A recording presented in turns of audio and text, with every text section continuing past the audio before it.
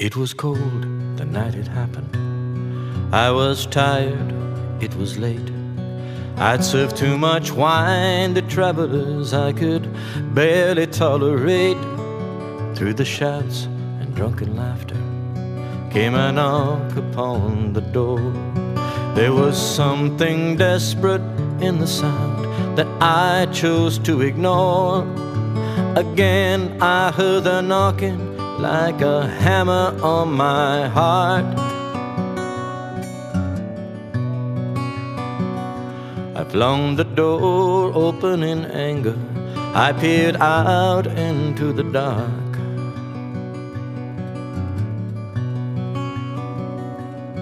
I could tell there was no profit to be made from what was there.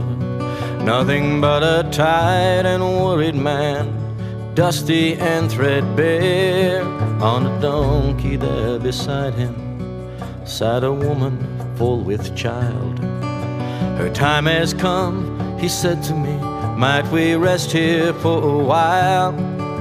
Again I heard the knocking like a hammer on my heart.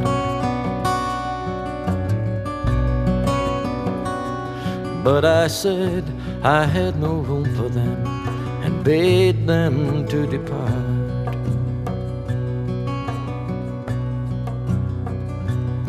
Was the light from lamps within the inn or somewhere in the sky?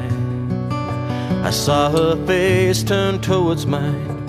I looked into her eyes. Oh, my knees began to weaken.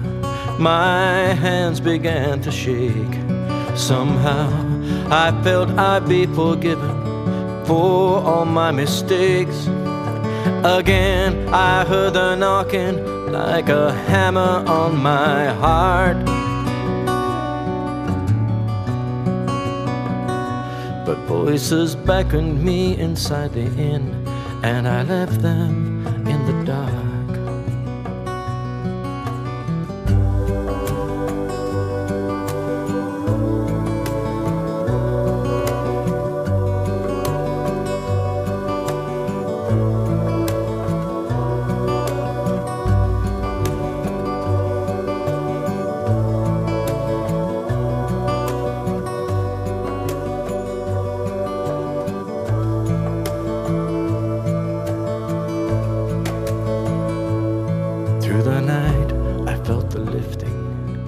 soul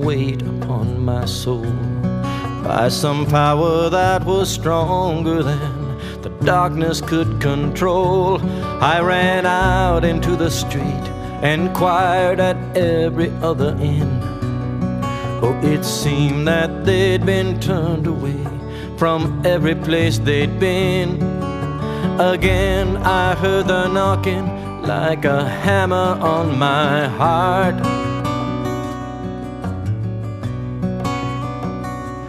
Then I heard a baby cry from somewhere in the dark.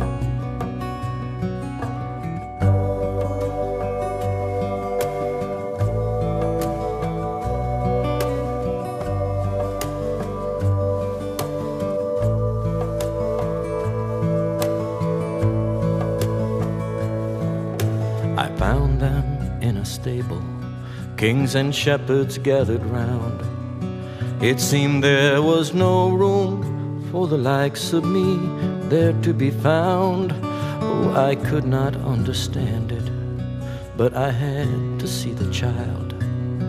When the mother bade me to come near, I swear I saw him smile.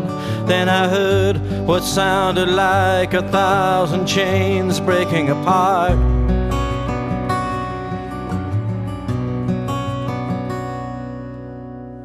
And a door now swinging open, letting light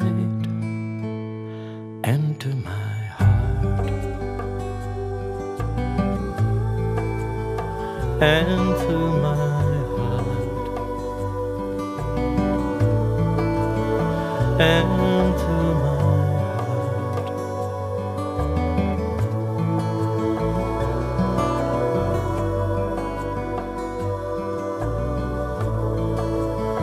and